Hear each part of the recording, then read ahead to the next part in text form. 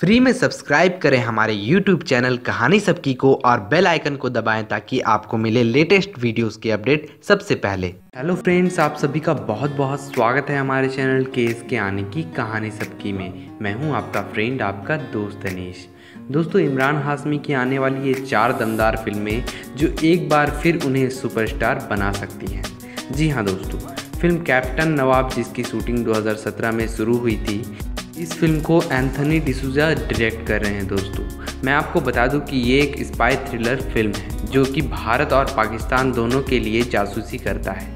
और इस फ़िल्म में मालविका राज भी काम कर रही हैं दोस्तों, जिनका ये डेब्यू फ़िल्म होगा। अब हम अगर दूसरी फ़िल्म की बात करें तो इमरान हाशमी की आने वाली दूसरी फ़िल्म का नाम है द बॉडी।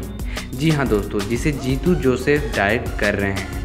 इस फ़िल्म में साउथ एक्ट्रेस वेदिका कुमार नज़र आने वाली हैं और ऋषि कपूर एक महत्वपूर्ण किरदार निभाते नज़र आएँगे। इस फ़िल्म को अगले साल रिलीज़ किया जाएगा।